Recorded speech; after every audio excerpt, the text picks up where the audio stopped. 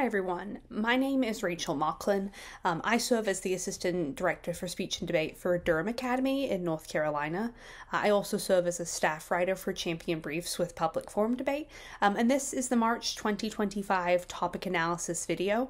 Um, the March topic that students around the country and world will be debating um, is resolved. In the United States, the benefits of the use of generative artificial intelligence in education outweigh the harms super excited to be an individual that has the ability to record um, the topic analysis that will be seen by students. As an educator myself, I think this is a very timely topic um, that students want to debate and potentially judges want to hear.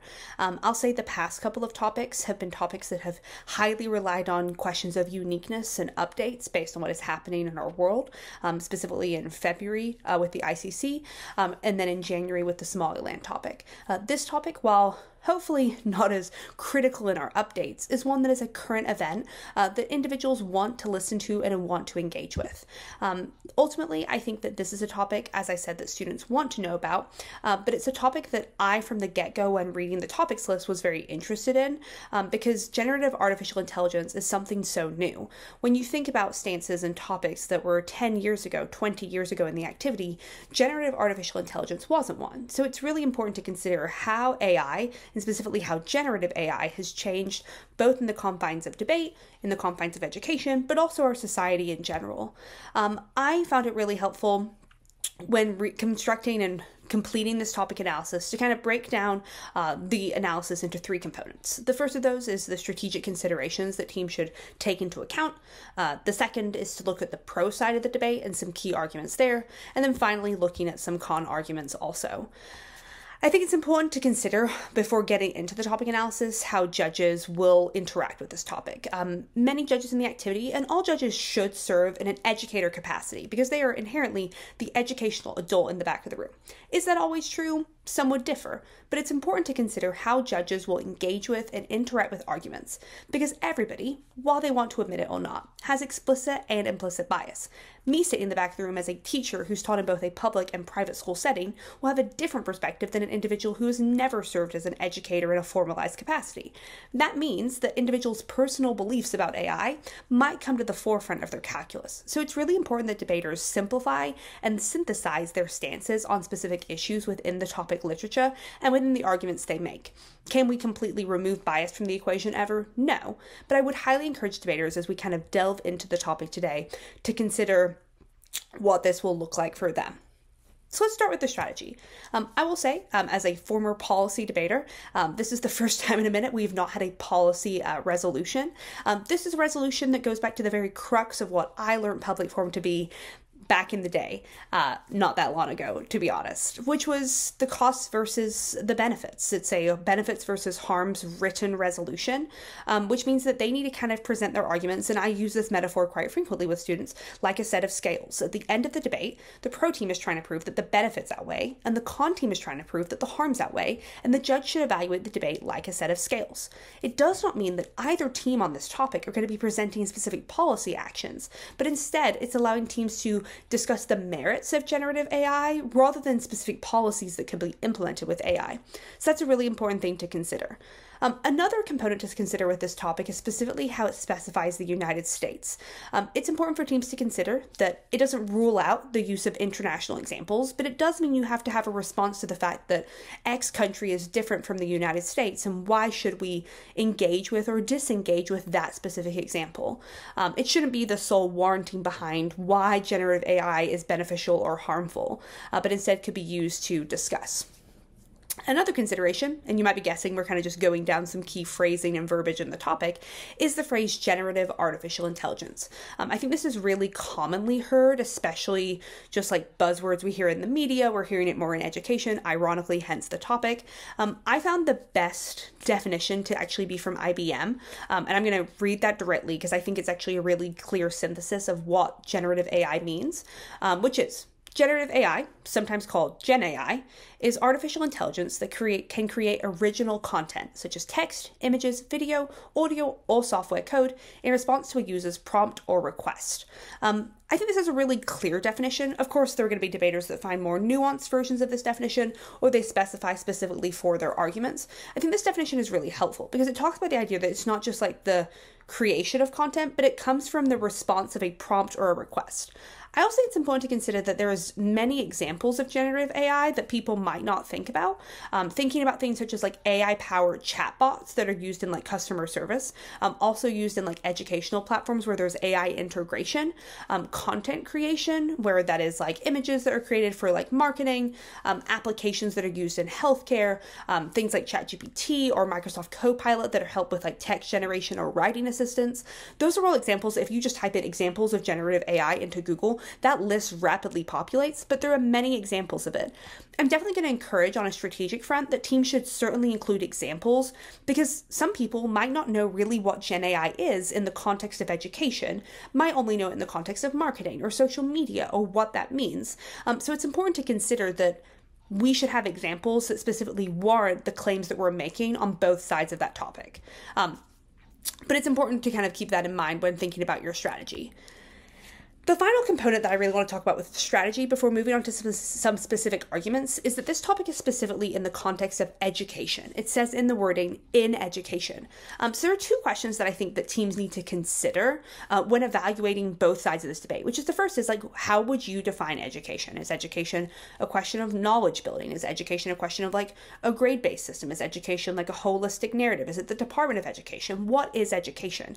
And teams certainly need to have some type of an answer to that to frame frame why education is important or why it is not important.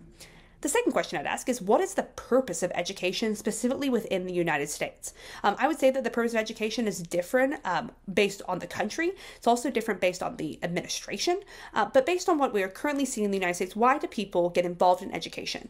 Is it because it's mandatory? Is it because of the job market? Is it because of the economy? Is it because of post secondary opportunities? And those are the questions that I think, based on the side of the debate, you should probably have some clear answers to because they're probably going to justify the specific stance that you take in the debate. Um, and those are kind of the holistic considerations. Um, I kind of think, though, before delving into the specifics on each side, there are kind of two strategies that teams should consider on each side of the debate specifically. Um, I think the pro team on this topic needs to be considering that it is a question of how education is always changing. So, like, as educators and as an educator myself, I'm aware that there's always this nuance that we need to always pivot. We always need to change our educational model. We need to change our methods of instruction uh, because we don't want to create a system that is hurting or failing students. Um, so, definitely, it could be a key motivating reason why generative AI is beneficial because we need to keep up with the changing times. Um, however, the con side, that's probably a strategic consideration, is that there is a lack of regula- regulation in AI, both in education but also beyond that, which means that the con team can certainly create an argumentation line that is like, if there is no regulation of AI, then how can those benefits that you say truly manifest in education when it could lead to like incorrect content or falsified information or misinformation or whatever terminology you want to use? But those two overarching considerations are certainly important to keep in mind. So we're going to start um, on the argumentation side of things by looking at the pro side. I'm going to specifically talk about two main lines of argumentation. Might end up delving into a couple more, but I really want to keep this topic analysis as synthesized as possible um, to allow you to get some knowledge, but also to create your own brainstorming. I say this with every topic that while I can spew information at you, the best way to get knowledge of arguments is by doing research. It does not just mean and I know this is ironic, that we go to AI and ask it for the topic areas or ask it for the stock arguments, because that's not really understanding the nuances of the argument or getting the best research. So I think the first pro argument that I think to kind of keep in mind, and I know kind of hypocritical after what I just said, but it's the idea that generative AI can support personalized learning approaches. Um, when students have specific need, needs, whether it is a customization of learning platforms or learning models, um, it is helpful to have more than just a one size fits all approach. Um, using tools in the classroom that allow like for students that need X accommodation or for students that need X style of learning to su- help them succeed in school. Um, generative AI can support those approaches in a way that an educator can't always do when there are 30 students in a classroom. Now, is that the experience of every educator? No. Uh, but trying to accommodate all of those needs and wants in a classroom is hard. It's something that educators, if they're judging, would certainly sympathize with. Um, I think there's some really good impacts here that can talk about how personalized learning is actually key to helping with education on an individualized level, um, which I think could be really strong um, regarding, again, those central questions of what is education. Um, I think the second one is about assistance to educators. I will transparently say that like AI has been a helpful tool for me as an educator, whether it is proofing rubrics or establishing like course descriptions. Um, there are many ways that educators, and there's many resources you can find or statistics that say this, that educators can use it from grading assessments to meeting planning to synthesizing notes to creating units. Those are all ways that educators can be helped in ways that allow teachers to engage with students in a more interactive manner. So rather than me spending my time working on grading a checklist rubric, I could spend my time having one on one conversations. Now, I don't personally do that, but that's definitely something that some educators do, and that's well within their prerogative to do so. Um, there's a really good study from Harvard University that talks about how generative AI can be used in the classroom. It gives a lot of different examples, which means that the impact scenario from that could manifest into a lot of different things from relationship building to burnout from teachers, which leads to teacher shortages. It could talk about how students get benefits um, across the board because they're learning both in the classroom with a teacher, but also outside with the generative AI assistant. There are lots of different approaches that teams could take on the pro side of the topic. Flipping to the con side and talking about some of those, because again, the con side is focusing on how the harms outweigh those benefits that we've just talked about. Um, inherently, the best way to prove uh, that you should vote con is probably the fact that AI leads us to ask lots and lots of questions that the pro team might not have answers to. Um, some questions that even center on the debate, which could even be cross questions, is like, how has generative AI impacted speech and debate? Some people are going to say inherently negative things about that, whether it has meant that students rely on it too much or whatever that means, or like, what are the consequences for this misuse within speech and debate? And I think that's a really interesting line of questioning that's not necessarily an argument, but how has generative AI impacted our activity? And what does that mean in the construct of education if we were to consider speech and debate an educational activity, which I think many people would? However, let's talk about two specific arguments real quick.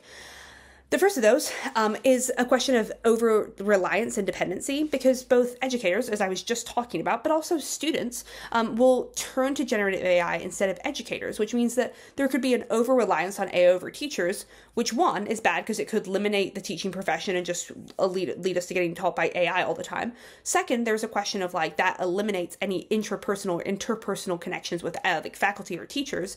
But the third thing I would say with that is it means that there could be misinformation because sometimes the information in AI isn't reliable.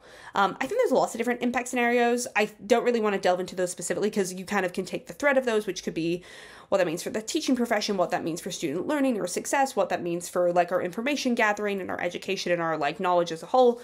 Those are kind of just some like rough ideas I have that I think could definitely be helpful. Think the second con argument is one that you'll probably hear a lot, which is about how AI and generative AI would hurt learning for students um, because it would hurt the process of learning. Because students, even in activities like speech and debate, are often challenged to think critically or engage in topics and not just be spewed information and learn. Um, because programs and like just like sending information to like Microsoft Copilot or ChatGPT doesn't allow students to have the learning or like learning models, like things like pedagogical models that teachers use for reasons um, are really important. Um, Harvard Business Publishing Education is actually linked in my topic analysis that's written um, that gives some specific examples about how it uniquely harms student instruction.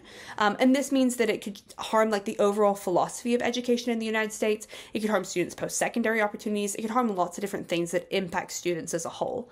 Um, but again, this topic has a lot of material on both sides. This was a really quick and succinct topic analysis, um, and it only highlighted two arguments for each side. I will say I think a great thing about this, and I actually have done a lot of work on this topic with some other students um, in my classes, has been the idea that there are lots of arguments on this topic that will be changing based on how generative AI is constantly changing, which I think will be really interesting to see how teams use this in the month of March, especially when lots of schools have spring break. I think that some debaters kind of sit back in March, um, but I would encourage you, especially for schools that have district or state competitions, um, to certainly engage with this topic as much as possible because beyond the scope of debate, it's just a genuinely interesting topic that I think will be really impactful in the future years of both speech and debate, but also education in general. Um, I wish you all the best of luck on this topic and have a great rest of your season.